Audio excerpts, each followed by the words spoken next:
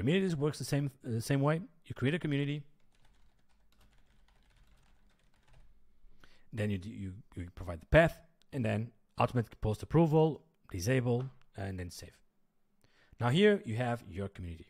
Then to uh, engage with it, you have view, settings, or remove. If you view it, this is very very standard. There's nothing here. The members, nothing here. Okay. So then, if you want to edit, we click there, and now here we are going to edit. You can write something. So title something, something topic. You can choose a topic and add a topic later on, and then you add the, content. This is the awesome content. If you want to add a picture, you can. There we go, a square picture, and you edit it. And if you want to choose a picture for the post, you can also do that. So this one needs to be in this ratio, and then click to upload. You go.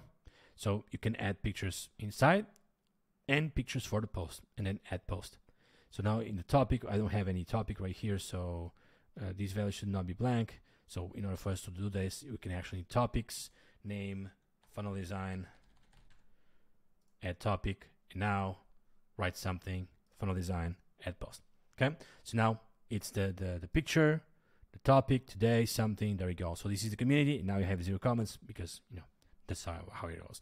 If you want to add more topics, you can add more topics right there. If you want to add more posts, you can add more posts right there. For the settings of this, you have the settings right here. This is a private community, not a public one, and automatic post approval, it's disabled. Okay. So for members, you can add members right here, invite new members, and you send the name of the members right there. Um, or uh, you can do through automations.